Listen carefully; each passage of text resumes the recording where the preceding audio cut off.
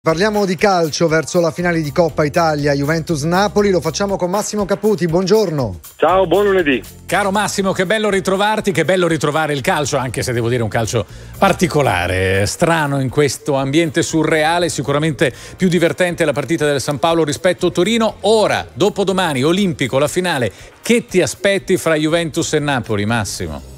Beh, diciamo innanzitutto è stata comunque una bella emozione, dai, alla fine rivedere eh, il calcio giocato, meglio la semifinale tra Napoli e Inter rispetto a quella Juventus-Milan. Juventus-Napoli la finale eh, ed è una finale che già solo per le squadre che sono in campo, per la rivalità che c'è, promette, promette tanto.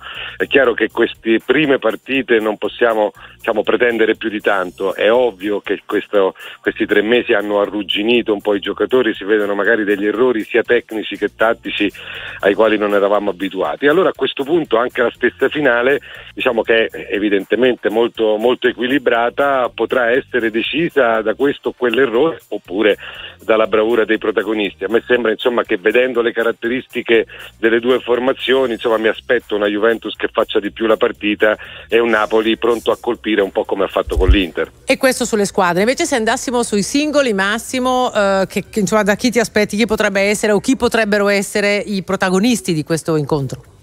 Diciamo che la Juventus in qualche maniera è un po' condizionata da Cristiano Ronaldo nel bene e nel male, nel senso che Cristiano Ronaldo non solo è il giocatore eh, che conosciamo e che sappiamo, ma è anche uno dei pochi che segna nella Juventus, che ha comunque questo problema. Dall'altra potremmo dire lo stesso per il Napoli con Mertens, che insomma oltretutto proprio contro, contro l'Inter è diventato il migliore capocannoniere eh, di sempre del Napoli. Però credo che, che, che il Napoli con il suo gioco ehm, abbia qualche possibilità in più di trovare il gol eh, in altra maniera. Eh, la Juventus che è fortissima ha degli attaccanti straordinari, però sta di fatto che non ha questa, questa mira infallibile. Se non segna Cristiano Ronaldo come ci ha detto anche il campionato prima dello stop, insomma non è, non è così semplice. Comunque, diciamo, per non sbagliarci, i due giocatori simbolo, Cristiano Ronaldo e Mertens, indubbiamente sono gli uomini su cui i fari saranno puntati. Caputi, riparte anche il campionato. Cosa ci dobbiamo aspettare secondo te?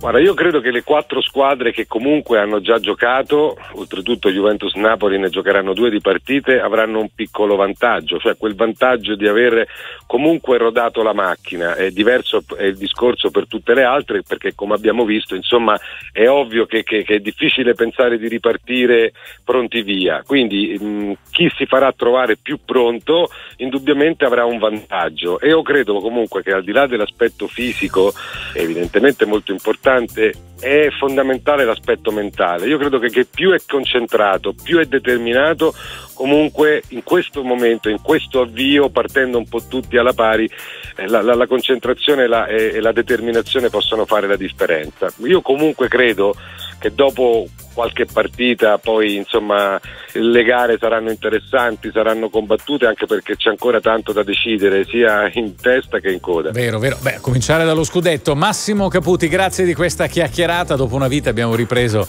abbiamo ripreso il pallone, dai, sostanzialmente, tra le mani ma soprattutto tra i piedi. Buona settimana, buon lavoro. Grazie a voi, buona settimana.